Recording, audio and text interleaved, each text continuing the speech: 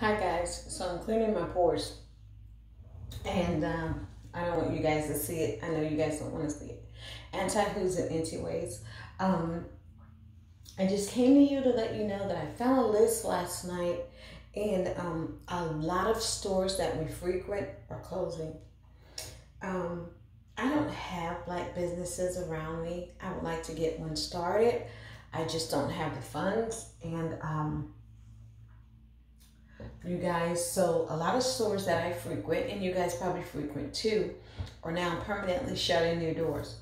So if you would Google and um, check out the list of stores closing permanently in 2020, you're gonna find Macy's, Kohl's, Abercrombie and Fitch, um, Dollar Tree. Yes, Dollar Tree.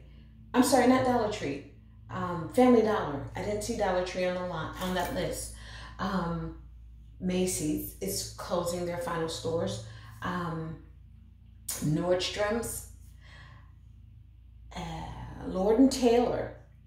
Um, I can't remember if Dillard's is on that list. I think that they are. Not really sure. Gotta check my stock child. And um, Stein Mart. Um, Kohl's. They're uh, J.C. Penney's. Um, Sears is already closed, as we know, and all the Kmart. So, um, you guys go and check out the list. You'll find out if a store that you frequent is closing. I'm not sure what's happening here in America, but um, I think everything is about to move online. I don't like it because I don't like to shop online.